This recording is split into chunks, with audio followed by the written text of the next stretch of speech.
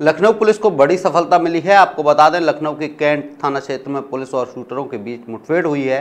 ये मुठभेड़ बिहार के कुख्यात शूटर रईस खान गैंग के सदस्यों के साथ हुई।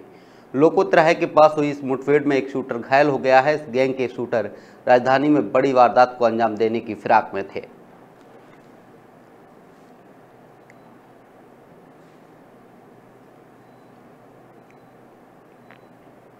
आज सुबह कैंट थाना अंतर्गत लोको तिराहे से यदुनाथ की तरफ़ जाती हुई रोड में अ, हमारे मुखबिर ने ये सूचना दी कि बिहार का एक बहुत कुख्यात गैंगस्टर है रईस खान जिसके शूटर्स वहाँ टहल रहे हैं और उनको देख के ऐसा लग रहा है कि वो एक बहुत बड़ी वारदात को अंजाम देंगे।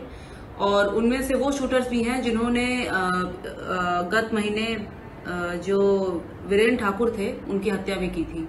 तो इसी सूचना पे Cantt police, Ashiyana police, DCP पूर्वी क्राइम टीम और क्राइम ब्रांच लखनऊ को रवाना